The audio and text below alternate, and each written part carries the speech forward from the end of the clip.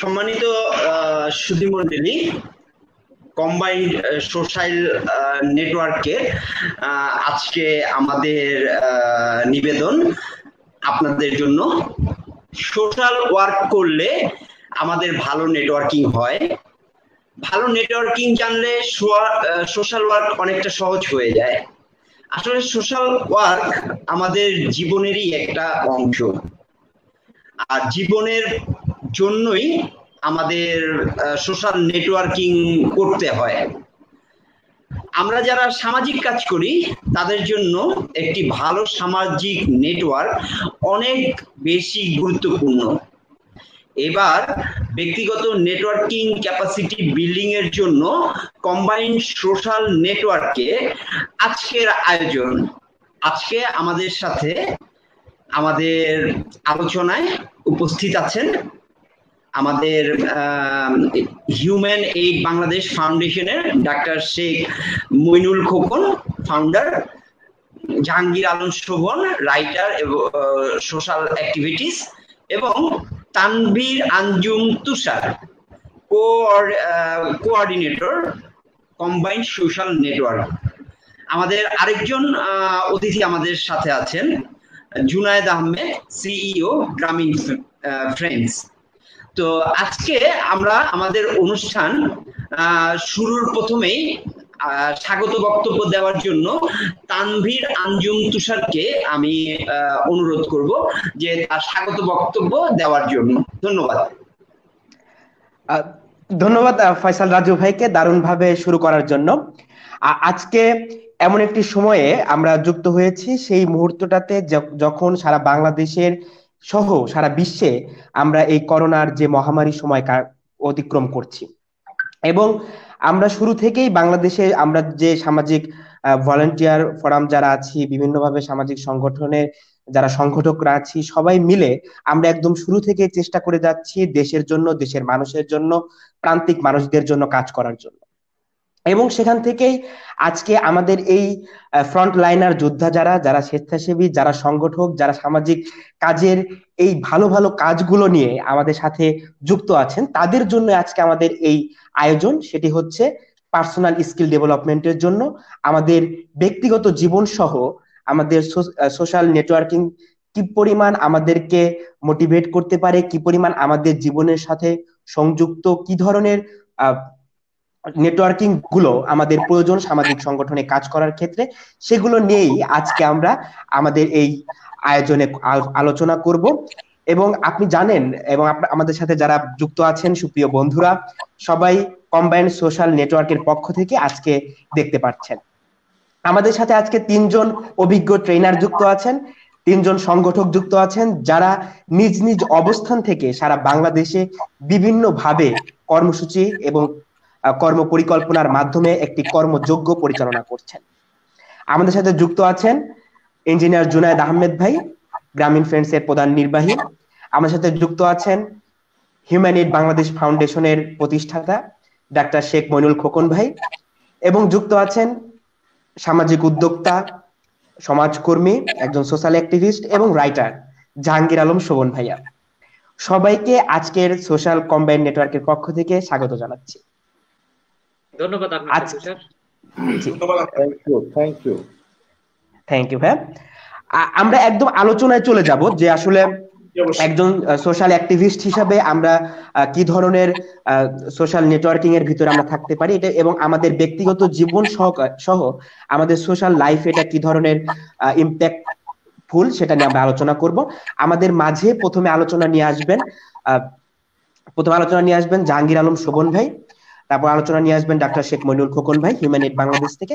এবং সবশেষে আমরা যাব ইঞ্জিনিয়ার জুনায়দ আহমেদ ভাইয়ের কাছে। এবং সবশেষে আমাদের সাথে যারা লাইভে যুক্ত আছেন, তাদের কাছ থেকে কোশ্চেন এবং অ্যান্সার শুনব আমাদের আজকের অভিজ্ঞ ট্রেনারদের কাছ থেকে।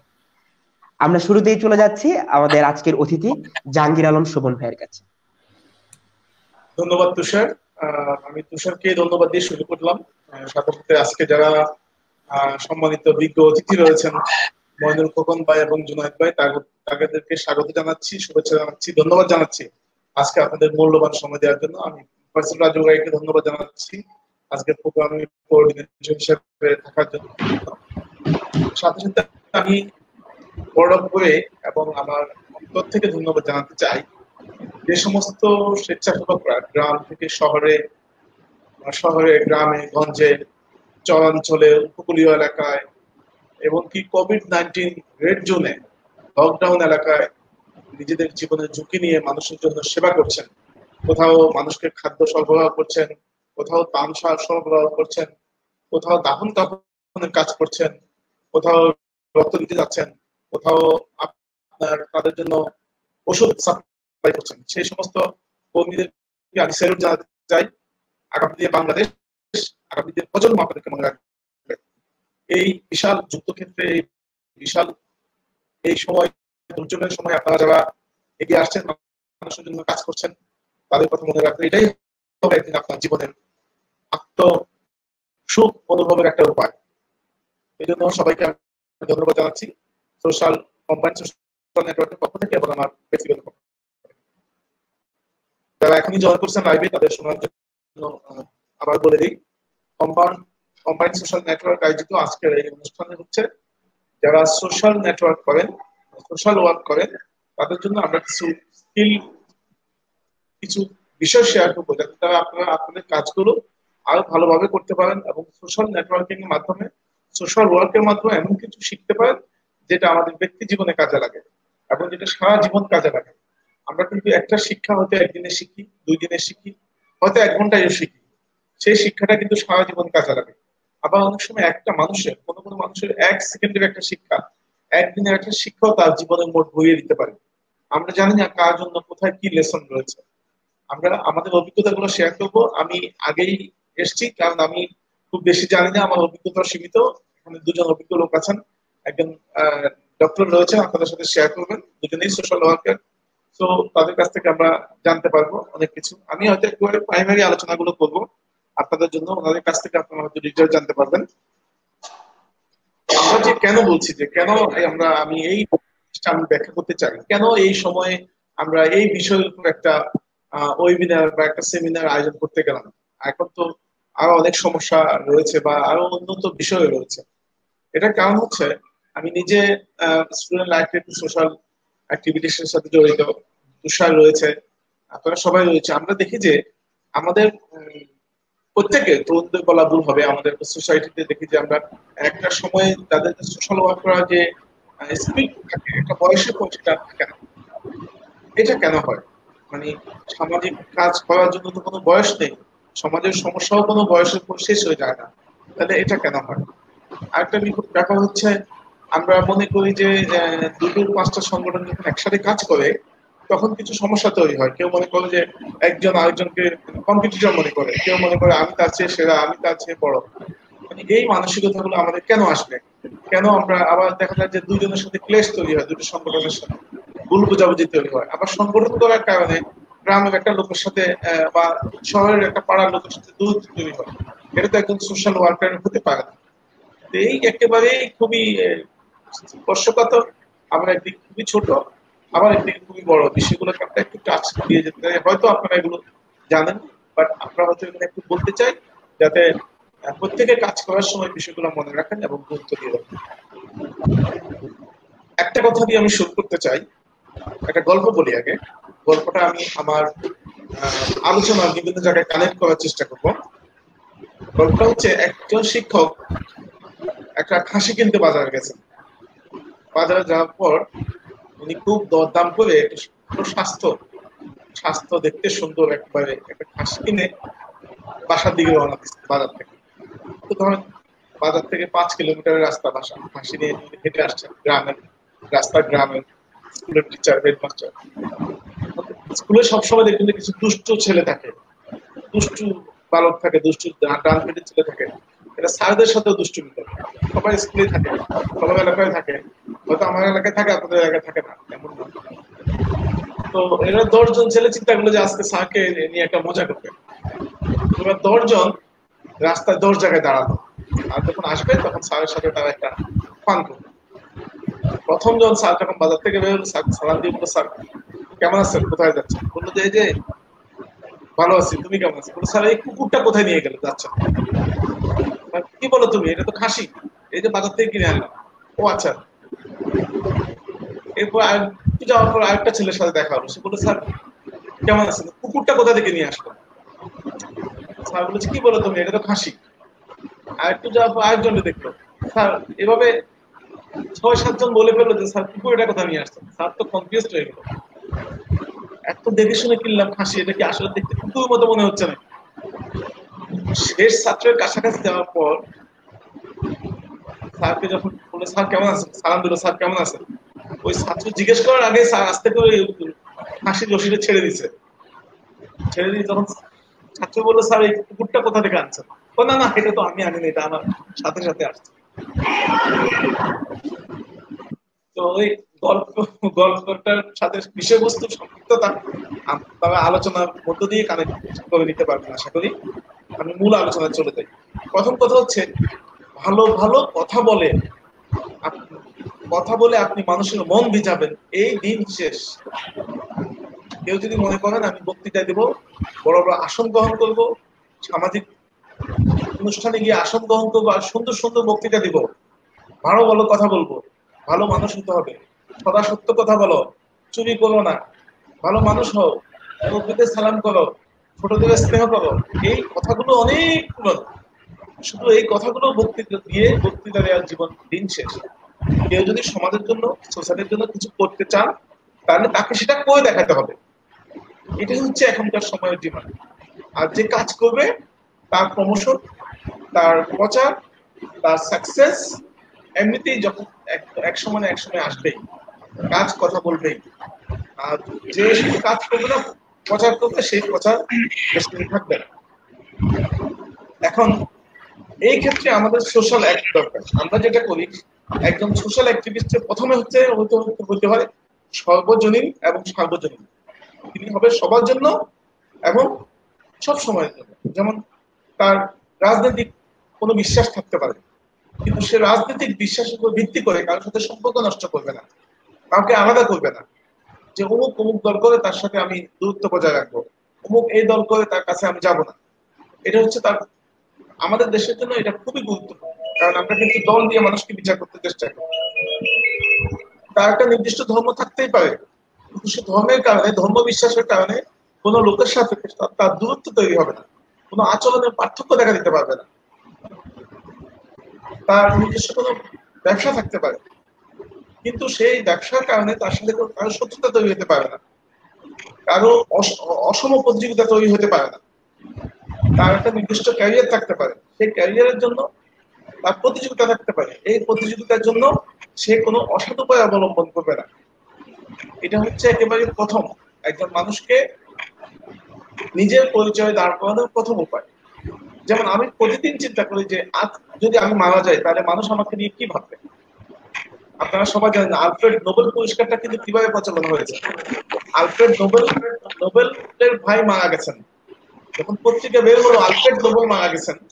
তখন কিন্তু পত্রিকা তাকে নিয়ে নেগেটিভ নিউজ করল। দেশের সেই এমন এক অস্ত্র আবিষ্কার করছে যেটা মানুষ খুন করতে পারে, সে দেশের জন্য কিছুই করে নাই। সে একটা তার পত্রিকার শিরোনাম ছিল মৃত্যুদূতের বিদায়। মানে তিনি আসলে একটা মৃত্যু পরোনা নিয়ে আসছেন, তাকেই মৃত্যুবরণ করতে হয়েছে। পত্রিকা ভুল করে নিউজ ছাপছে। সেই নিউজ দেখে নিশ্চিত তিনি বুঝতে পারলেন যে উনি যদি আজকে মারা যান, তাহলে মানুষ তাকে নিয়ে খারাপ কথা বলবে। এবং তারপর থেকে তিনি নোবেল পুরস্কারটা প্রচলন করছে।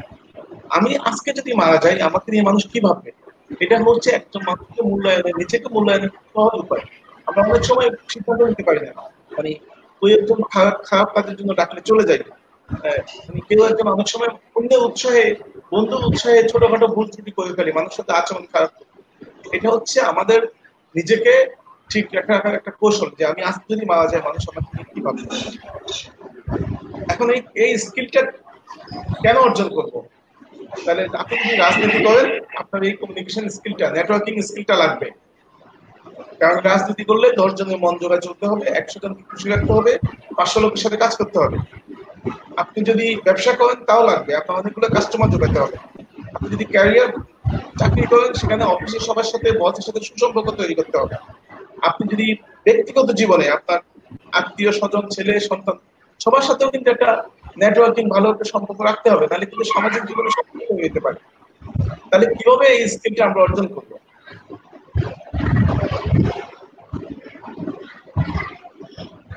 একেবারে ব্যক্তিগত গুণাবলী কথা আপনি এগুলো খুবই আপনার সার্চ দিলে পাবেন।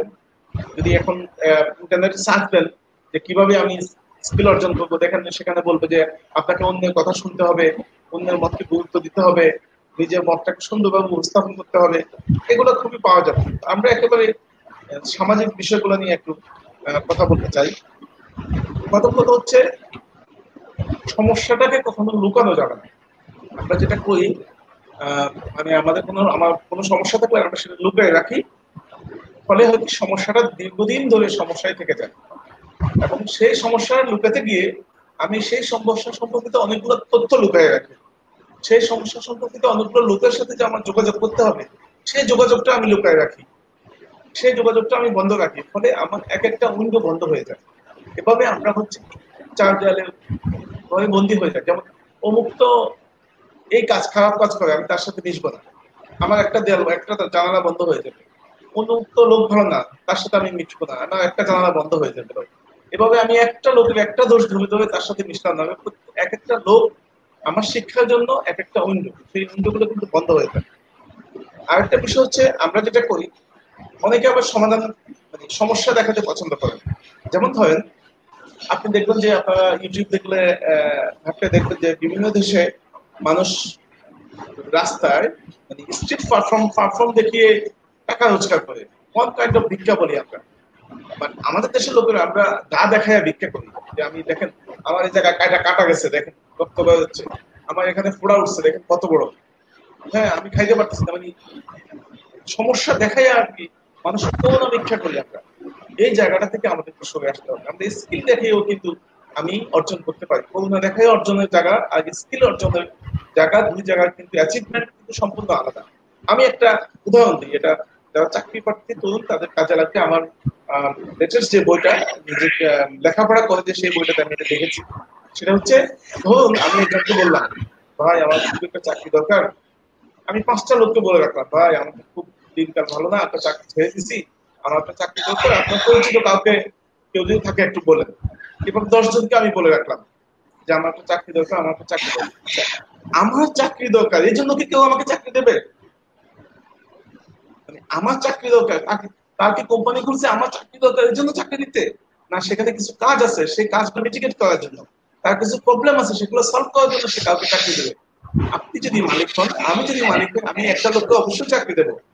সেটা হচ্ছে আমার কাজগুলো হওয়ার জন্য। সেটার বিনিময়ে তাকে কিছু একটা দেবো। তার কাজ সমস্যার সমাধানের জন্য আমি তাকে চাকরি দেবো না।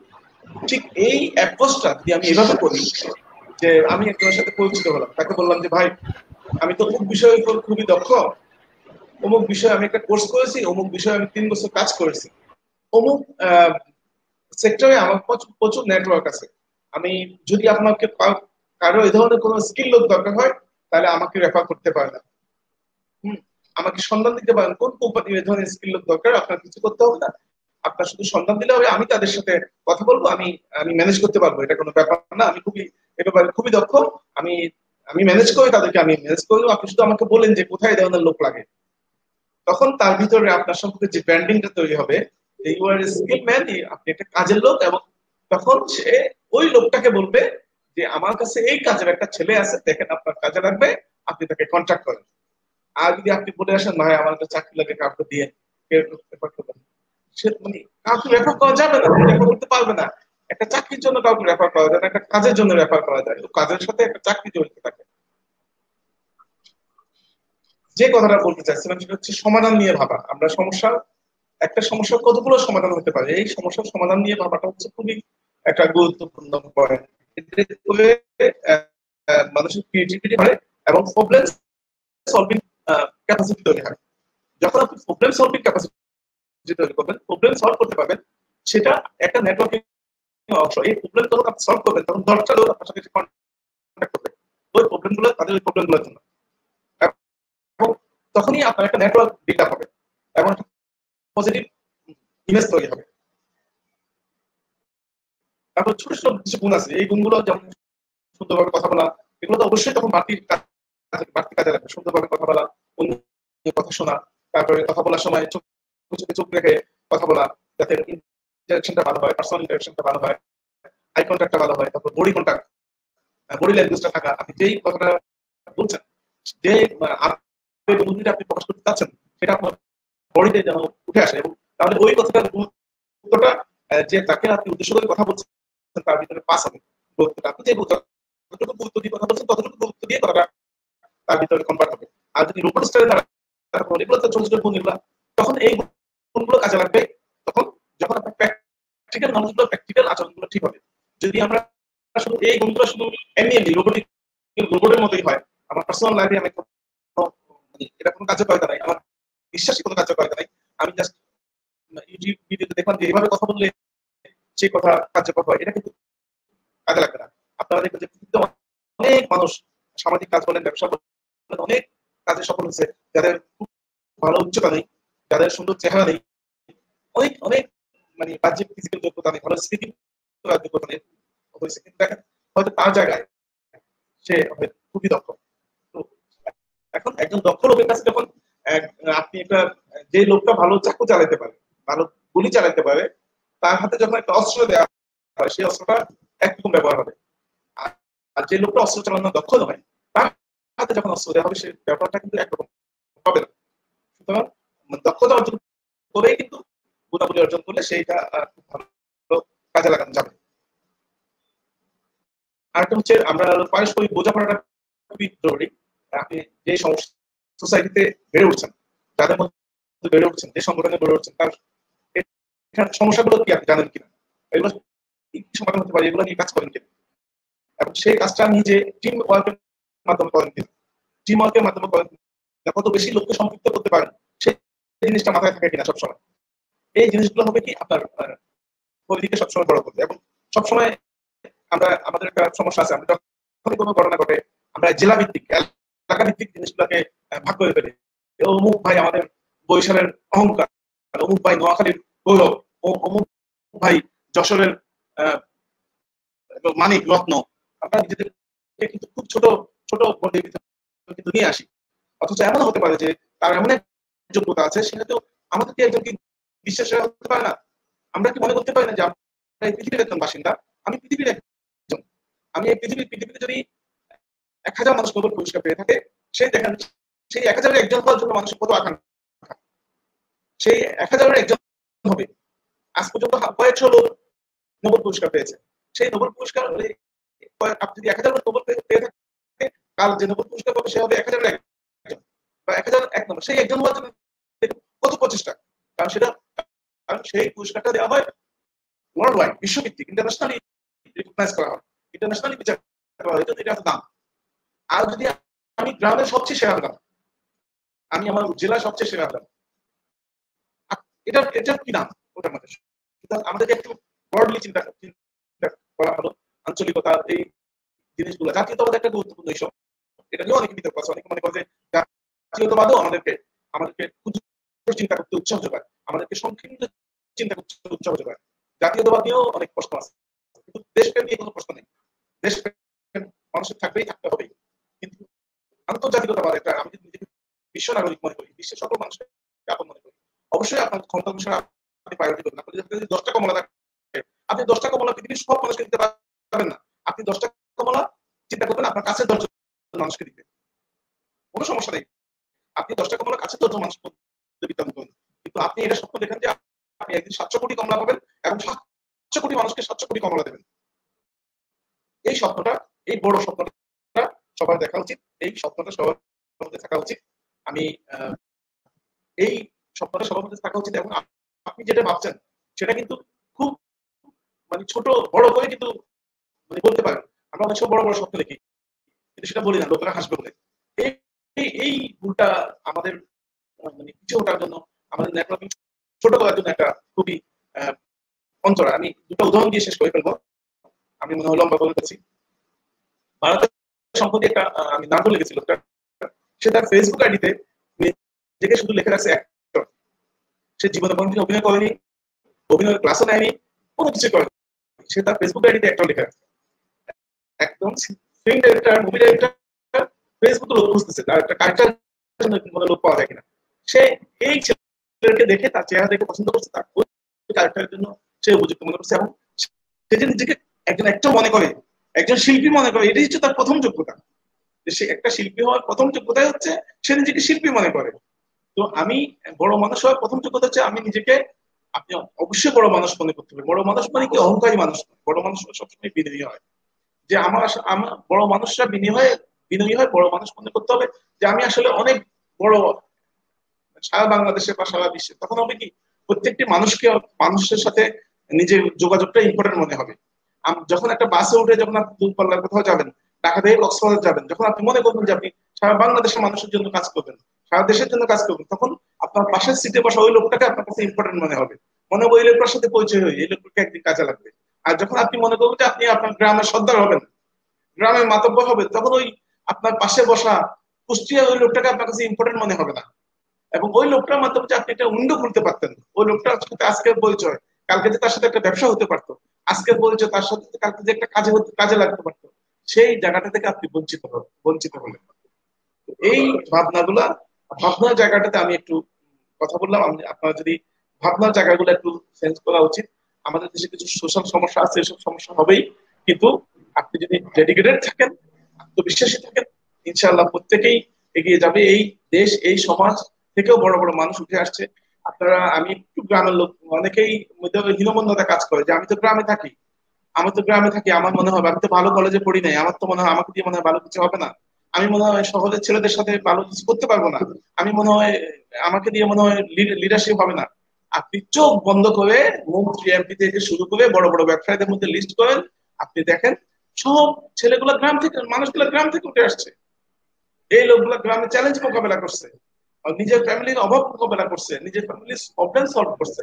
এই প্রবলেম সলভ প্রবলেম সলভিং ক্যাপাসিটিটা নিজের গ্রামে, পাড়ায়, এলাকায় একজন আরেকজনের সাথে যোগাযোগ রক্ষা করছে। গ্রামে সবাই সবাইকে চিনে। একটা গ্রামের দুই এক কিলোমিটারের মধ্যে সবাই সবাইকে চিনে। যেটা আমরা শহরের পাশের পাশের লোককে আমরা চিনি না। সেই দক্ষতাটা তার ব্যক্তিগত জীবনে কাজে লাগিয়ে সে কিন্তু আজ লিড দিচ্ছে। গ্রামের ছেলেরাই দেশ চালাচ্ছে, দুনিয়া চালাচ্ছে। সুতরাং এই কথা যদি কারও মাথায় থাকে, আজকে এটা ডিলেট করে ডিলেট করে ফেলবেন। মনে করবেন যে আপনি চাইলেই আপনি পারবেন এবং এই স্কিলটা অর্জন করবেন স্কিলের সাথে মানসিকতা, এই দুটো সমন্বয় করবে একটা নেটওয়ার্কিং স্কিলের মাধ্যমে আপনার বর্তমান জীবন, বর্তমান সোশ্যাল ওয়ার্ককে আপনি কাজে লাগাতে পারবেন এবং ভবিষ্যতে এই কাজগুলো আপনার জন্য একটা দক্ষতা হিসেবে দেখা দিবে, সেই দক্ষতা ক্যারিয়ারে কাজে লাগবে। সবাইকে অনেক ধন্যবাদ। ভালো থাকবেন। ধন্যবাদ শোভন ভাইকে। দারুণ এবং খুবই গুরুত্বপূর্ণ আলোচনা রাখার জন্য। এবং আমরা আশা করছি আমাদের সাথে যারা লাইভে যুক্ত আছেন, এখন এবং পরবর্তীতে যারা দেখবেন তারা অবশ্যই এখান থেকে যে আমাদের শিখন ফলগুলো, সেগুলো ব্যক্তিগত জীবনে, সামাজিক জীবনে এবং তার সাংগঠনিক যে কর্ম পরিকল্পনা কর্মসূচি এবং তার ব্যবস্থাপনার ক্ষেত্রে তারা সেগুলা কাজে লাগাবে।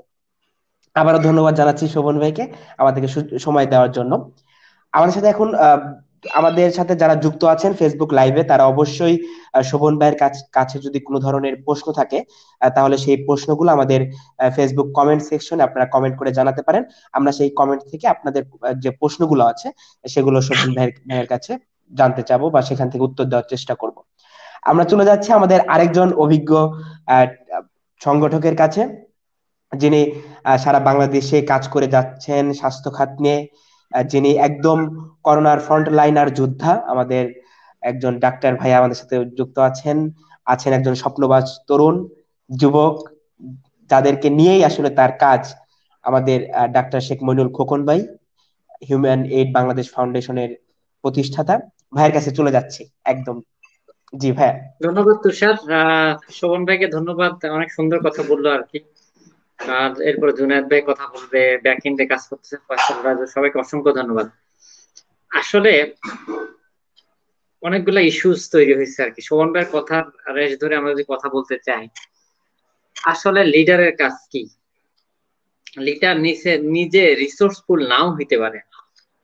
আমি যেটা বলি যে লিডার রিসোর্সফুল হইতে হবে নট নেসেসারি কিন্তু উনি রিসোর্স মোবিলাইজেশন জানতে হবে এবং এটাকে ইউটিলাইজ করতে জানতে মনে করেন ফেসবুকের মার্ক জুকারবার্গ উনি হয়তো বা ফেসবুক এখন অনেক অপশন আছে, উনি হয়তো বা জানে এটা এইভাবে তৈরি হয়েছে, এটা এইভাবে তৈরি হয়েছে, এটা এইভাবে তৈরি হয়েছে, এটা এইভাবে ব্যবহার করা হয়। উনি তো এটা ব্যবহার নাও করতে পারেন। এবং ফেসবুকে অনেক অপশনস থাকতে পারে, অনেক টিচার থাকতে পারে, যেটা হয়তো মাছ ধরবার মাথা থেকেও আসে না। বিষয়টা কি আসলে? বিষয়টা আসলে নাথিং বিষয়টা নাথিং মানে আসলে কিছুই না। কিছুই নাই আসলে সবকিছু। দেখেন, আমরা যেটা বারবারই বলে আসছি মানে জানেন হিউম্যানেট খুবই তরুণ পরিচালিত, তরুণদের পরিচালিত প্রতিষ্ঠান। গত বারো বছর ধরে একটা প্রতিষ্ঠান কাজ করে আসতেছে, যার যার অর্গানাইজাররা সবাই চল্লিশের নিচে। চল্লিশ বছরের নিচে সবার বয়স, যে অর্গানাইজেশনটা গত বারো বছর ধরে কাজ করে আসছে, যেটি, এরই মধ্যে সরকারের বিভিন্ন প্রতিষ্ঠান থেকে নিবন্ধিত এবং যেখানে যারা কাজ করতেছে বেশিরভাগই সবচেয়ে ইউথ বাংলাদেশে যারা তরুণ, এর মধ্যে যেসব প্রতিষ্ঠান নিবন্ধিত, এর মধ্যে সবচেয়ে বেশি তরুণ এই প্রতিষ্ঠানে কাজ করতেছে। তো এটা তো আসলে রিসোর্স এখন মনে করেন যে, মনে করেন যে একটা অর্গানাইজেশন অনেকগুলো ইস্যুস নিয়ে কাজ করে। যেমন মনে করেন আমি যদি হিউম্যানিটির কথা বলতে চাই হিউম্যান হেলথ নিয়ে কাজ করে এডুকেশন নিয়ে কাজ করে ইউথ লিডারশিপ নিয়ে কাজ করে উইমেন এম্পাওয়ারমেন্ট নিয়ে কাজ করে ইমার্জেন্সি ইমার্জেন্সি রেসপন্স নিয়ে কাজ করে। এখন হঠাৎ করে দেখা গেল যে আমাদের দেখে অর্থনৈতিক মন্দা শুরু হলো। মনে করে। এখন এটাকে তো আসলে এটা তো হিউম্যান কাজ করতে হবে এটা ইমার্জেন্সি একটা রেসপন্স করতে হবে। কিন্তু আমি তো অর্থনীতি নাও বুঝতে পারি। আমার জায়গা থেকে বুঝতে হবে যে কীভাবে মানুষকে এঙ্গেজ করলে আমার রিসোর্স যারা আছে, আমার ভলেন্টিয়ার যারা আছে, এদেরকে কাজে লাগিয়ে আমরা একটা ভালো আউটকাম দিতে পারি। লিডারকে কাজ করতে হয় না লিডারকে কাজ করানো জানতে হয়। লিডারকে কাজ করতে হয় না লিডারকে কাজের উদাহরণ সৃষ্টি করতে হয়। মনে করেন, আমরা বললাম যে একটা প্রতিষ্ঠান চলছে, মনে করেন একটা প্রচণ্ড ঝড় বৃষ্টি হচ্ছে, এর মধ্যে একটা নদীতে একটা নৌকা চলছে। এটার মধ্যে নাবিকের আসনে আছে একজন, এর মধ্যে শ্রমিক আছে, কিছু মালামাল আছে আর নেতা নিজে আছেন। কিন্তু সেই ইয়েটা আপনার, সেই নৌকাটা কিন্তু নাবিকে চালায় নেতার উপস্থিতিতে। কিন্তু যদি কখনো ইমার্জেন্সি ক্রিয়েট হয়, নেতাকে সেই নাবিকের কাজটা করতে হয়। আমি সবসময় তরুণদেরকে বলি, আমি নিজেও তরুণদের প্রতিনিধিত্ব করি। আমি সবসময় বলি যে আপনি, আপনার রিসোর্স যতটুকু আছে, আপনার যতটুকু ক্যাপাসিটি আছে, আপনার যত স্ট্রেংথ আছে, এটাকে ইনক্লুশনে চাইতে হবে। মনে রাখতে হবে, এখন আর কেউ আমার এটা নাই, এটা শোনা পছন্দ করে না, বরং আমার এটা আছে, এটা শোনা পছন্দ করে। কেউ কেউ কখনো এটা আপনাকে আপনি যদি কোথায় গিয়ে বলেন যে আমার আর একশো টাকা লাগবে, এটা তাহলে আমি শুরু করতে পারব। এটাতে কেউ কোঅপারেট করবে আপনি যদি বলেন যে আমার কাছে বিশ টাকা আছে, আমি এই কাজটা করতে চাই, তবে এই কাজটার প্রসপেক্ট ভালো, এটাতে যদি আরও ইনভেস্টমেন্ট পাওয়া যায়, তাহলে ভালো কাজ হবে। এটাতে যে কেউ করবে। সিনারিওটা হলো, একটা সময় মানুষ দুর্বলকে সহযোগিতা করতো, এখন মানুষ সবলকে সহযোগিতা করে। অনেকে ভাববে এটা বাংলাদেশের ট্রেন্ড অনেক সময় আমরা দুঃখ করে বলি না, তেলে মাথায় তেল দাও। তেলে মাথায় তেল দেওয়াটা ওয়ার্ল্ড ওয়াইড সিনারিও সবাই বড় কোম্পানিতে ইনভেস্ট করে টু সিকিউর সিকিউরিটির জন্য করে। তরুণদেরকে কখনো ভাবতে হবে না যে আমার আসলে কিছু নাই, বরং তরুণদের ভাবতে হবে আমার অনেক কিছু আছে। আমি একটা গিয়ে, একটা জায়গায় গিয়ে, আমি একটা জায়গায় গিয়ে একজন, সে ফর এক্সাম্পল আমি যদি আজকে আপনাকে বলতে চাই, যখন হিউম্যানের একটা বস্তিতে স্কুল হয়, আমি তখন ফিজিশিয়ান আমি তখন ইন্টার্ন ডক্টর সে অবস্থায় কিন্তু আমি স্কুল ঘরটা ঝাড়ুও দিয়েছি। এটাই তরুণ হওয়ার সুবিধা আর কি। তরুণরা ঘর ঝাড়ুও দিতে পারে, ডাক্তারের চেম্বারে রুগীও দেখতে পারে, তরুণরা গিয়ে হেঁটে একটা জায়গা থেকে আরেকটা জায়গায় যেতে পারে, কিন্তু যারা প্রতিষ্ঠিত, এরা কিন্তু এটা পারবে এটা কিন্তু ক্যাপাসিটি আপনি যদি মনে করেন, আপনি যদি মনে করেন আমি রাস্তা দিয়ে হেঁটে, আমি একটা ওয়ার্কিং স্টেশন থেকে আরেকটা জায়গায় হেঁটে হেঁটে যাইতেছি, আমার একটা গাড়ি নাই, এটা আমার উইকনেস তাহলে আপনি তো আপনাকেই ডিফাইন করতে পারবেন। আপনি যদি মনে করেন যে একজন ইন্ডাস্ট্রিয়ালিস্টের এত টাকা আছে, আমার কাছে কিছুই নাই তাহলে আপনি আপনাকেই ডিফাইন করতে পারলেন না। আপনি যদি না ডিফাইন করতে পারেন, আপনি যদি মনে না করেন, আপনার যদি একটা জিনিস মনে না করেন যে আমি কষ্ট না করে, কষ্ট না করে যদি কোনো কিছু বড় হয় মাথায় রাখতে হবে, এটা যে কোনো সময় পড়ে যাবে যে কোনো সময় পড়ে যাবে। পৃথিবীর ইতিহাসে পৃথিবীর ইতিহাসে কোথাও কেউ বলতে পারবে না যে কোনো একটা জিনিস কষ্ট ছাড়া হয়েছে। কষ্ট ছাড়া যেটা হয়েছে, এরা কোনোদিন টিকে নেই। ডোনাল্ড ট্রাম্প পৃথিবীতে অন্যতম আপনার, এই আমরা যদি বলি যে ডেভেলপার যারা কাজ করে বাংলাদেশে নির্মাণ ইয়ে সবচেয়ে বড় একটা প্রতিষ্ঠানের মালিক। সে তার বাবার প্রতিষ্ঠিত প্রতিষ্ঠানে আসার পরেও সে ড্রপ করছে। ড্রপ করে সে আবার উঠলে, উঠে দাঁড়াল। উঠে দাঁড়ানোর পরে আজকে এত বড় সাকসেস এখন ও যদি না পড়তো তাহলে কিন্তু আজকে ডোনাল্ড ট্রাম্প হইত ডোনাল্ড ট্রাম্প যদি তার বাবার প্রতিষ্ঠিত প্রতিষ্ঠানটাকেই কন্টিনিউয়াসলি চালায় যাইতো, তাহলে আজকে উনি প্রেসিডেন্ট হইতো তরুণদের বিষয়ে আসলে যদিও ইয়ে শোভন ভাইয়ের কথা রেস্টুরেন্ট আমি কথা বলছিলাম। তবে আমি একটু শুরু থেকে একটু শুরু করি। সেটা হলো আসলে এটা একটা করোনা মহামারী কান্তির এই সময়টাতে আমাদেরকে নতুন নতুন করে অনেক কিছু এক্সপ্লোর করছে। আমরা বলি হিউম্যানের একটা বিশেষ এই ইমার্জেন্সির সময় কয়েকটা জিনিস কাজ করছে। এক্সপ্লোরেশন ডকুমেন্টেশন রিসোর্স মোবিলাইজেশন এই তিনটা খুবই জরুরি। তরুণরা যদি এখন করতে চায় এখন মনে করেন করোনা, এটা খুবই খারাপ যে এখন বিশ্বব্যাপী বয়স্ক মানুষজন যা, যারা একটা নির্দিষ্ট বয়সের এরা পৃথিবী থেকে পৃথিবী ত্যাগ করছেন। এখন এই জায়গাগুলো কিন্তু তরুণদের নিতে হবে। এখন আমরা খুবই আপসেট এবং আমরা খুবই দুঃখ দুঃখ, বারাক্রান্ত হৃদয় বলছি যে এই এই সিনিয়র সিটিজেন সিটিজেনরা এই রিসোর্স মানুষজন পৃথিবী মায়া ত্যাগ করে চলে যাচ্ছেন। কিন্তু একই সাথে মাথায় রাখতে হবে, আপনি তরুণকেই কালকে ওই চেয়ারে বসতে হবে। আপনি হঠাৎ করে গিয়ে একটি মসনতে বসে যাবেন আর সেই মসনত এমনি এমনি ঘুরবে, পৃথিবী এত সহজ নয়। এই সময়টাকে আপনাকে প্রস্তুত করতে হবে। কীভাবে প্রস্তুত করতে হবে? এটার জন্য আমরা নতুন জিনিস নিয়ে কাজ করছি এক্সপ্লোরেশন অ্যান্ড ডকুমেন্টেশন মনে করেন আমি করোনা পরবর্তী সময় কি করব? এখনই আমাকে এটাকে এক্সপ্লোর করতে হবে। কি কি এক্সপ্লোর করতে হবে? মনে করেন হিউম্যান এইড এখন কাজ করতেছি কি? টোটালি পোর্টেবল হেলথ নিয়ে। বাসায় গিয়ে আমরা অনেককে করোনা স্যাম্পল কালেকশন হেল্প করছি। বাসায় গিয়ে আমরা মানুষের এক্সরে করে দিচ্ছি। বাসায় গিয়ে আমরা মানুষকে ওষুধ পৌঁছিয়ে দিচ্ছি, বাসায় গিয়ে ল্যাবরেটরি টেস্ট করাচ্ছি, বাসায় গিয়ে কারও ইনজেকশন দেওয়া লাগলে করছে, কারও ভ্যাকসিন দেওয়া লাগলে করছে। এটা কিন্তু ইটস এন ট্রায়াল কারণ করোনা পরবর্তী সময় মানুষ এটাতেই অভ্যস্ত হবে। একই সাথে আমাকে কি করতে হবে? একই সাথে আমাদের করতে হবে যে ডকুমেন্টেশন এখন মনে রাখেন, আপনার খুব ভালো আইডিয়া আছে, কিন্তু আপনি একটা রিপ্রেজেন্টেবল করতে পারলেন না। দেখেন বাংলাদেশে হাজার হাজার তরুণ কাজ করে। কিন্তু কতজন কতজন তরুণ অ্যাওয়ার্ড পায়? যদি অ্যাওয়ার্ডটা মুখ্য না, যদি অ্যাওয়ার্ড মুখ্য না, কিন্তু অ্যাওয়ার্ড ইজ এ ফ্যাক্ট এই যে অ্যাওয়ার্ডের কথা রিকগনিশনের কথা, মানুষ জানার কথা, দেখেন, আমরা যখন হিউম্যানের প্রথম শুরু করি, আজ থেকে প্রায় দশ বারো বছর আগে, তখন আমরা খুব ছোট একটা কাজ করলেও ফেসবুকে দিতাম। অথচ আজকে আমরা অনেক বড় কলাবার কাজ করেই অনেক কিছু ফেসবুকে দিচ্ছি না। মানুষকে জানানোর জন্য, মানুষকে রিচ করার জন্য ডকুমেন্টেশনটা খুব জরুরি। আমাদের তরুণদেরকে আমরা বলব, যাদেরকে আমরা প্রতিনিধিত্ব করি, যাদের মধ্যে আমরা অন্তর্ভুক্ত, যে আপনি এখন যেটা চিন্তা করছেন এটাকে প্রপার ডকুমেন্টেশন করেন। গ্র্যান্টের জন্য অ্যাপ্লাই করেন। আপনি বিভিন্ন ধরনের ফোরামে এগুলো নিয়ে কথা বলেন। যখন করোনা মহামারী হয় মার্চের প্রথম দিকে একটা একটা ফোরকাস্টের কথা বলি।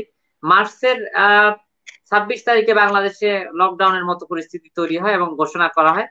বিশ মাসের, মার্চের বিশ তারিখে হিউম্যান এডে আমি আমার ব্যক্তিগত ফোন নাম্বার দিয়ে একটি একটি WhatsApp imo Viber Skype ID খুলি করোনা হেল্প ডেস্ক নিয়ে। এর নাম দিলাম করোনা হেল্প ডেস্ক এবং এবং আপনি দেখেন, এই যে টেলিমেডিসিন টেলিমেডিসিন এখন বাংলাদেশে অন্যতম আলোচিত জিনিস। এবং আমি গর্ব করে বলতে পারি, বাংলাদেশে করোনা হেল্প শব্দটা উৎপন্ন মানে প্রথম এক্সপোজ করছে হিউম্যানের বাংলাদেশ। আমরা প্রথম চেষ্টা করছি যে মানুষের বাসায় সার্ভিস দেওয়ার জন্য। দেখেন সার্ভিস আমি কেন দিচ্ছি? শোভন ভাইরা সহ আমরা অনেকবার অনেক বিষয় নিয়ে একটা ফেসবুকে অনেকবার মিটিংও করেছি। আসলে আমরা কেন আসলে এই সার্ভিসগুলো বাসায় দিচ্ছি? এটার এক নম্বর কারণ হলো হিউম্যান কিন্তু মানুষকে সেবা করার জন্য বাসায় সার্ভিসগুলো দিচ্ছে না। আমি যদি বলি সেবা করার জন্য দিচ্ছি, আমি বলব না, এটা মিথ্যা কথা। সেবা করার জন্য দিচ্ছে না, আমি আমার স্বার্থে দিচ্ছি কারণ মানুষ যদি বাইরে আসে করোনা ভাইরাস ছড়াবে, আমি আক্রান্ত হব। সমাজের একজনও যদি, সমাজের একজনও যদি আক্রান্তের ঝুঁকিতে থাকে, তাহলে আমি ঝুঁকিতে আছি। করোনা ইস্যুটা অনেকটা এমন হয়েছে, হয় হান্ড্রেড, নয়, জিরো। হয় আপনাকে একশোটা স্টেপ মেনটেন করতে হবে, একশো জনকেই মেনটেন করতে হবে, নয় কাউ মেনটেন করবেন না, কোনো স্টেপ মেনটেন করবেন এই যে আমি ভাবছি যে আমার সিকিউরিটির জন্য সমাজের সবাই সিকিউরিটি দরকার, এই জন্য আমরা সার্ভিসগুলো বাসায় পৌঁছায় দিচ্ছি। বললি, বললাম আপনি বাসায় থাকেন, আমরা সেবা পৌঁছায় দিব। বললাম আপনি বাসায় থাকেন, আপনার সিকিউরিটি আমরা মেনটেন করব। আপনি বাসায় থাকেন, আপনার চাহিদা আমরা পূরণ করব। That's why we are we we are providing services তো তরুণদের ক্ষেত্রে আমি বলব যে আপনাকে আপনাকে হিউম্যানিটিয়ার হবেন, এটা আপনার এক্সট্রা এক্সট্রা কোয়ালিটি কিন্তু আপনাকে প্র্যাকটিক্যাল হইতে হবে। আপনাকে ফিজেবল হইতে আপনি একটা আইডিয়া আনলেন যে আইডিয়াটা বাংলাদেশে বাস্তবসম্পন্ন নয়, সেটা আপনি কাজ করলে হবে না। আপনি একটা জিনিস চিন্তা করলেন, আপনি চিন্তা করলেন আপনি বঙ্গোপসাগরে সাঁতার কেটে যাবেন, এটা ফিজিবল না, এটা ইমপ্র্যাকটিক্যাল আপনাকে চিন্তা করতে হবে, আমি যদি, ঠিক আছে, আমি একটা বড় শিপে কোনোভাবে যদি যাইতে পারি, সেই শিপের মাধ্যমে আমি এক দেশ থেকে অন্য দেশে যাইতে পারি। You have to make an policies and strategy তো তরুণদের ক্ষেত্রে আমি খুব বেশি বক্তৃত্বে কথা বলব না, কারণ আমি এই এই সম্প্রদায়ের বা এই শ্রেণি গোষ্ঠীর প্রতিনিধিত্ব করি এবং এদের নিয়ে আমার কাজ। আমি অল্প কয়েকটা কথা বলব যে আপনাকে সবকিছু জানতে হবে না, কিন্তু আপনি কি সবকিছু জানে এমন মানুষকে চালানো চালাতে জানতে হবে। আপনাকে উদাহরণ সৃষ্টি করতে হবে। আপনি আমি ডাক্তার, আমি গিয়ে যদি কোথাও দাঁড়া আমি কোথাও নেতৃত্ব দিচ্ছি, সেখানে গিয়ে যদি আমি দাঁড়ায় দাঁড়ায় থাকি, অন্যকে যদি অর্ডার করি এটা কখনো একটা গুড গুড লিডারের কোয়ালিটি না। আমাকে গিয়েই প্রথম কাজটা করতে হবে। আমি আরেকটা কথা বলেছি যে আপনার কি আছে সেটা নিয়ে আপনাকে প্রায়োরিটি দিতে হবে। আপনি কি করতে পারছেন এটা আপনাকে বলতে হবে। আপনার কি আছে সেটাকে প্রায়োরিটি দিতে হবে। আরেকটা দুইটা জিনিস বলে শেষ করব। একটা হলো এই যে combined is very important social এটা খুবই ইম্পর্টেন্ট কম্বাইন্ড মানে কি? এখন আর কেউ একা একা বড় হয় না।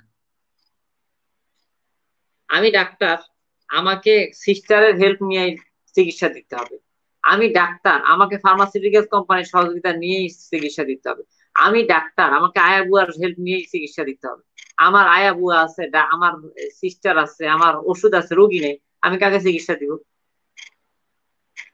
It's a combined it's comprehensive it's universal কোন রিলিজিয়নের বিষয়ে প্রায়োরিটি দেওয়া যাবে না, কোন রেসকে প্রায়োরিটি দেওয়া যাবে না, কোন কালারকে প্রায়োরিটি দেওয়া যাবে না, কোন অঞ্চলকে প্রায়োরিটি দেওয়া যাবে না। প্রিয় তরুণ ভাই ও বোনেরা, যাদের আমরা, আমি আপনাদের প্রতিনিধিত্ব করি, পরিশেষে একটি কথাই বলব যে যেই করোনা আমাদেরকে নতুন কিছু শিখিয়েছে, করোনা আমাদেরকে নতুন কিছু শিখিয়েছে, সেটি হলো সামনের দিনগুলো থেকে আপনাকেই নেতৃত্ব দিতে হবে কনফিডেন্ট হইতে হবে, স্নায়ু চাপ নিতে জানতে হবে। এটুকু বলে শেষ করছি। নিশ্চয় জুনায়দ ভাই আরও সুন্দর কথা বলবে। জুনায়দ ভাইয়ের কাছে যাচ্ছি। অসংখ্য ধন্যবাদ সবাইকে।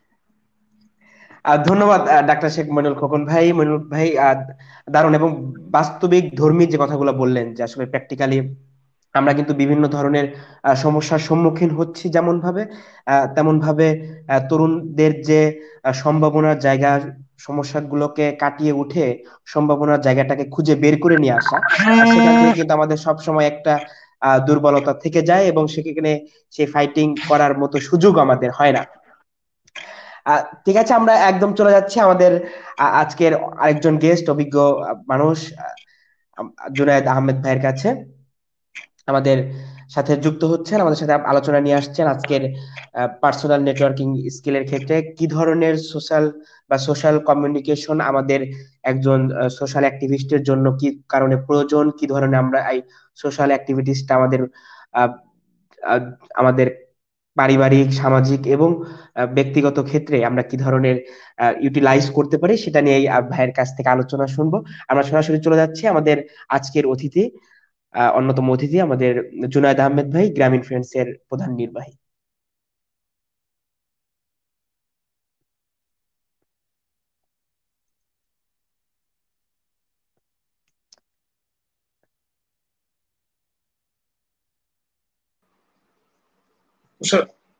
জি ভাই।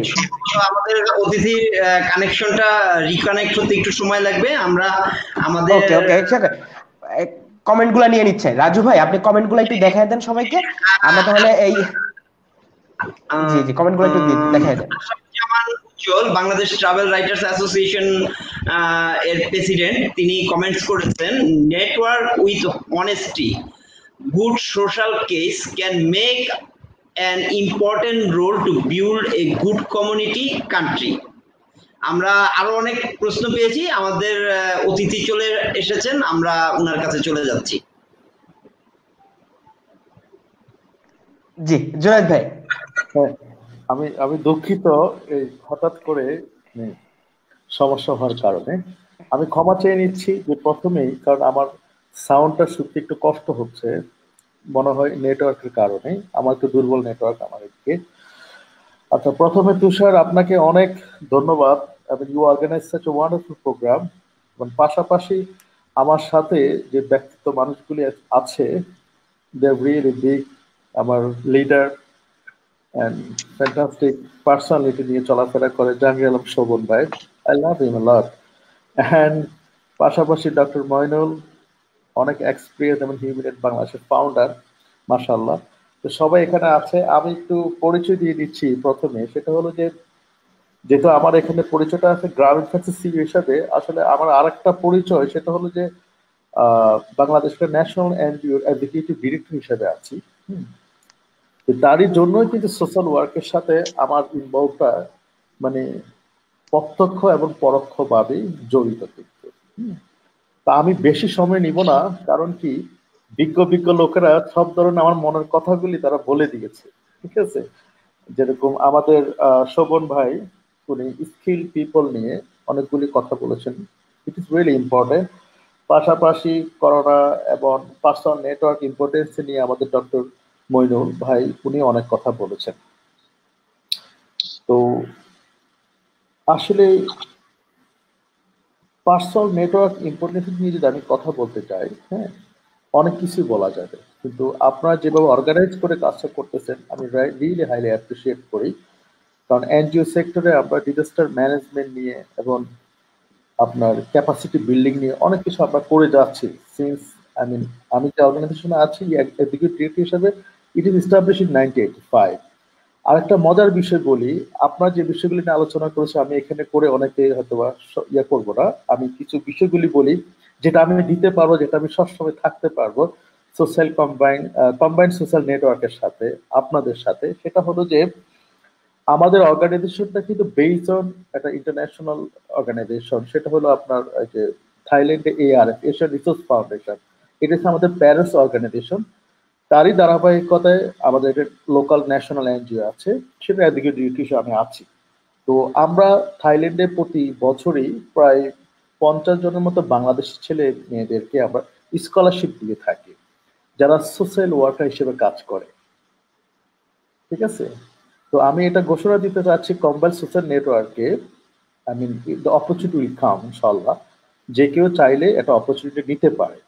শুধু তাই নয়, আমরা বাংলাদেশে জাস্ট রিসেন্টলি আমরা শুরু করেছি এন CPDS nerve centre for peace development studies যেখানে ইউথ লিডারদের একটা অপরচুনিটি আছে স্কলারশিপ দিয়ে তারা আমাদের এখান থেকে বিভিন্ন ওয়ার্কশপ করতে পারবে, যেখানে ইন্টারন্যাশনাল এবং ন্যাশনাল মেন্টরসরা থাকবে।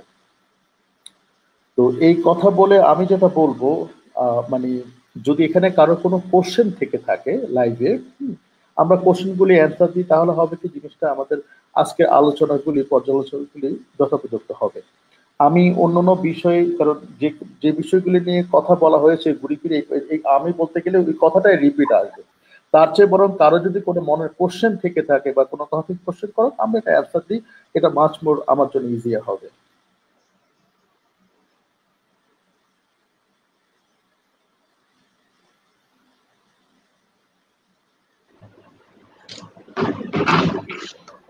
তুষার ভাই। তুষার ভাই, আমাদের এখানে যে প্রশ্নগুলো আসছে, সেটা হচ্ছে আপনি কীভাবে নিজে সামাজিক যোগাযোগ রক্ষা করেন? Okay you see that I mean how importance E personal network very simple like recently Amphan cyclone you all know that, right? এই যে আমপান সাইক্লোনে যে হ্যাপেনিংটা হয়েছে আপনার খুলনাতে, এখন করোনার কারণে আমাদের আমাদের একটা ফান্ড অর্গানাইজ করেছি, আমরা এখানে কিছু পরিবারকে প্রায় অলমোস্ট এক হাজার পরিবারকে আমরা খাদ্য সরবরাহ করব। মিন সাতক্ষীরাতে, খুলনাতে। দেখেন, এই করোনার কারণে আমরা এখন বিভ্রান্ত যে আমরা কীভাবে যাব, কীভাবে কমিউনিকেশন করব। আমাদের মানে একটা রিস্ক ফ্যাক্টর থেকে যায়, তাই না? কমিউনিকেশনে অনেক ধরনের গ্যাপ থেকে যায়। দেখেন, এই সোশ্যাল নেটওয়ার্ক প্লাস পার্সোনাল নেটওয়ার্কের কারণে আমরা এটা নিয়ে চিন্তিত না। কারণ এখানে ছোটখাটো অনেক মানে কি বলে এনজিও আছে লোকাল এনজিও আছে। পাশাপাশি অনেকে ভলেন্টিয়ার হিসেবে আমাদের সাথে কাজ করে আসতেছে। আমরা তাদেরকে কি করেছি? ফান্ডটা অর্গানাইজ করে দিয়েছি এবং তাদেরকে একটা গাইডলাইন দিয়েছি। যে গাইডলাইনের মাধ্যমে তারা ফলো করে এখানে কাজটা সম্পূর্ণ করে ফেলবে। তারপরে পার্সোনাল নেটওয়ার্কের মাধ্যমে আমি ঘরে বসে আমি আমার কাজটা সম্পূর্ণ করতে পারতেছি। আমার কথা কি শোনা যাচ্ছে? আমি একটু কনফিউজ কারণ আমার আপনাদের কথা শুনতে যে আমার ডিলে হচ্ছে পাশাপাশি আমারটা শোনা যাচ্ছে কিনা আমি আসলে বলতে পারছি না।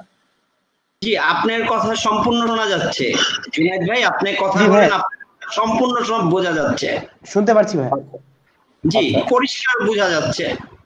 জি থ্যাংক ইউ জি শোনা যাচ্ছে। এটাই আর কি মানে আমার এটাই আমি বললাম আগে যে পার্সোনাল নেটওয়ার্ক ইম্পর্টেন্স যদি বলতে চাই আজকে আমরা ডোনেশন করতেছি বিভিন্ন জায়গাতে আমরা আমাদের অবস্থানে বসেই আমরা কমিউনিকেশন করতেছি আমরা আমার অবস্থানে বসে আমরা আমাদের কাজগুলি সম্পূর্ণ করতেছি আমাদের গাইডলাইনের মাধ্যমে। এটা শুধুমাত্র আমাদের পার্সোনাল নেটওয়ার্কের কারণে। জোনাদ ভাই আরেকটা কোশ্চেন আছে আপনার জন্য। জি। জি জি, বাংলাদেশের প্রেক্ষাপটে সবার মন জুগিয়ে চলা যায় কি? এটা কি পারছেন আপনি? বাংলাদেশের প্রেক্ষাপটে সবার মনোযোগ আহ, রক্ষা করাটা কোশ্চেনটা সবার মনোযোগ রক্ষা করা যায় কি তাই না? বাংলাদেশের প্রেক্ষাপটে সবার মনোযোগ রক্ষা করাটা আহ, যায় যায় যায় কীভাবে? কারণ আমাদের শোভন ভাই প্রথমে বলেছিল যে স্কিল পিপল হ্যাঁ এখানে একটা বিষয় থেকে যায়। মানে সোশ্যাল ওয়ার্কার হইলেই যে আপনি সবকিছু মেনটেন করতে আমি মনে করি সোশ্যাল ওয়ার্কার হওয়ার আগে আপনার মন মানসিকতার পাশাপাশি আপনাকে স্কিল হইতে হবে। মানে সাধারণ কথা হলো এমন যে লাইক আপনি যখন সে ধরেন কি বলব এক্সাম্পল যে আপনার যখন ইমার্জেন্সি এই যে আমপান হয়েছে, যেন আমপান সাইক্লোনটা হয়েছে, এই সাইক্লোনের সময় আপনি যদি কাউকে বিপদ থেকে উদ্ধার করতে যান, তাহলে অবশ্যই আপনাকে শক্তিশালী হতে হবে স্ট্রং হইতে হবে। আপনি যদি স্ট্রং হন, তাহলে না আপনি কাউকে হাত বাড়ায় দিতে পারবেন। ব্যাপারটা বুঝতে পেরেছেন? তো আমাদের বাসা আমরা যেটা বলি যে সোশ্যাল ওয়ার্কারদেরকে আমরা সবসময় আপনার ক্যাপাসিটি বিল্ডিংটা নিয়ে আমরা অলওয়েজ ট্রেন করে থাকি। সেই যে সেক্টরে হয় যে সেক্টরে কাজ করার you should build your capacity যখন আপনি ক্যাপাসিটি বিল্ড করতে পারবেন তাহলে আপনি সবকিছু সুন্দরভাবে অর্গানাইজ ভাবে আপনি কাজ করতে পারবেন। আর আমার সাথে যদি স্কিল মানুষজন কাজ করে থাকে তাহলে এখানে আর ওই যে মন রক্ষা করার কোনো অপশন থাকবে না। ইজিলি কাজ করতে পারবে ইনশাল্লাহ জি জোনায়েদ ভাই আপনার জন্য আরেকটা প্রশ্ন আছে। জি জি প্লিজ ওই স্কিল জায়গাটাই। কথাটা হয়তো আপনি উত্তর দিয়েও দিয়েছেন হ্যাঁ বন্ধুত্ব। এখানে একটা বন্ধুত্ব একটা অনেক বড় বিষয় হয়ে দাঁড়ায়। বন্ধুত্বটা কতটুকু স্থায়ী হয়? কারণ শোভন ভাই একটা জায়গায় খুব পরিষ্কার একটা কথা বলেছেন শুরুতে যে আমরা যখন কাজ করতে যাই আসলে বাংলাদেশের মানসিক প্রেক্ষাপট যে একবার যদি আমরা কারও উপর রাগ করি তার সাথে আমরা সম্পর্কটা আহ, মানে আহ, এক প্রকার কন্টিনিউ করতে পারি না।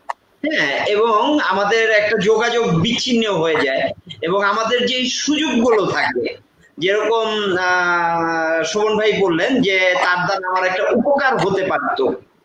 হ্যাঁ তো এই জায়গাটা আপনি কীভাবে অতিক্রম করেছেন এবং বন্ধুত্বটা কীভাবে টিকিয়ে রেখেছেন? যদি আমাদের কম্বাইন্ড নেটওয়ার্কের আমরা যারা সদস্য আছি তাদের জন্য দেন আমরা উপকৃত হব যে বন্ধুত্বটা টিকিয়ে রাখার সবচেয়ে আহ, উত্তম পন্থাটা কি বা বুদ্ধিটা কি? বা আমরা কীভাবে এটাকে টিকায় রাখতে পারি? শোভন ভাই আমরা আরেকটু আপনার থেকে শুনতে চাই। আচ্ছা আমি তো শোভন ভাইয়ের মতো ভালো গুছিয়ে কথা বলতে পারি না হ্যাঁ? কিন্তু মজার বিষয় হলো কি, এই বন্ধুত্ব বিষয়টা যদি বলতে যাই, এটা মানে একটা খুবই সহজ কোশ্চেন সরি সহজ উত্তর দেওয়া যাবে। সেটা হচ্ছে যে, আমার যে স্ক্রিনের সামনে আমাদের যে জাহাঙ্গীর আলম শোভন ভাই, আমাদের পরিচয়টা কিন্তু বন্ধুত্ব সম্পূর্ণ এবং বন্ধুত্ব সম্পর্ক নিয়েই কিন্তু এই যে আজকে এই combine national combine social network এবং ই ক্যাপ সবকিছুর সাথে কিন্তু আমাদের সম্পৃক্ততা দিন দিন বাড়ছে। হ্যাঁ তবে আমি মনে করব আরেকটা বিষয় মানে আমরা অনেক সময় যেটা হয় কি যে আমরা প্রফেশনালিজমের কাতারে থেকে অনেক সময় বন্ধুত্বটাকে অনেক দূরে ঠেলে দিই। হুম কিছু কিছু সময় হয় কিছু কিছু ব্যক্তি বিশেষ।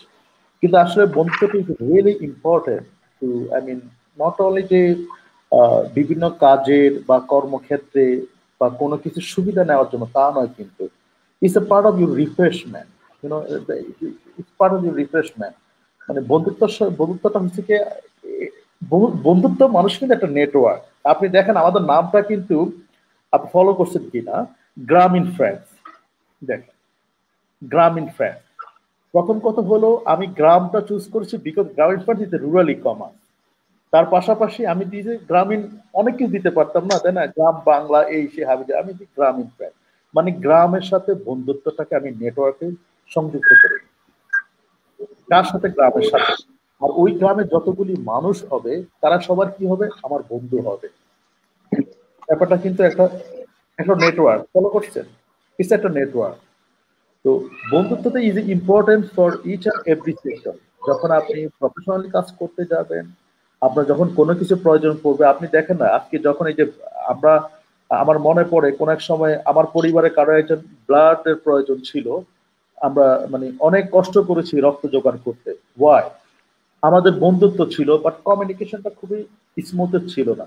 কিন্তু থ্রু বাই কমিউনিকেশন এখন বন্ধুত্ব আমাদের কিন্তু বাড়তেছে। আর বন্ধুত্ব বাড়া মানে আমাদের নেটওয়ার্ক কিন্তু আপনার নেটওয়ার্ক নেটওয়ার্কের মাধ্যমে আমাদের বন্ধুত্ব বাড়তেছে। এবং তার পাশাপাশি নেটওয়ার্ক আরও ওয়াইড হচ্ছে।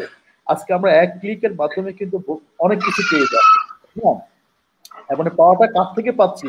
আননোন পাচ্ছি থেকে পাচ্ছি কিন্তু। থ্রু বাই আমাদের ফ্রেন্ডস এর কাছ থেকে পাচ্ছি। It's really important thank you আমাদের আর, আরও বেশ কয়েকজন যুক্ত হয়েছেন আমাদের সাথে শুরু থেকে এবং আমাদের কোশ্চেনগুলো কম্বাইন্ড সোশ্যাল নেটওয়ার্ক এখানে আসছেন। আমি হচ্ছে ভাই শোভন ভাই আছেন মনুল ভাই আছেন জুনাদ ভাই আছেন, আমরা একদম আলোচনারও শেষ পর্যায়ে চলে এসেছি, আমাদের সাথে শুরু হচ্ছে। এবং আমরা ফাইনালি ভাই একটা আসলে সর্বশেষে সবাই যারা যারা সাথে যুক্ত ছিল শোভন ভাই থেকে শুরু করব, যে আমরা লাস্ট স্পিচ যদি একটা দিই এক মিনিটে তাহলে যারা তরুণ আছে, যারা সংগঠন করছে, যারা সংগঠক এবং যারা প্রফেশনাল লাইফে যাচ্ছে, আমার মতো যারা আছে, যারা সদ্য গ্রাজুয়েশন কমপ্লিট করবে বা করেছেন। তাদেরকে নিয়ে কি ধরনের মতামত আছে যারা আসলে সোশ্যাল ওয়ার্কিং এর সাথে জড়িত? শোভন ভাই। ধন্যবাদ তুষার। ধন্যবাদ তুষার আমাকে শোনা যাচ্ছে?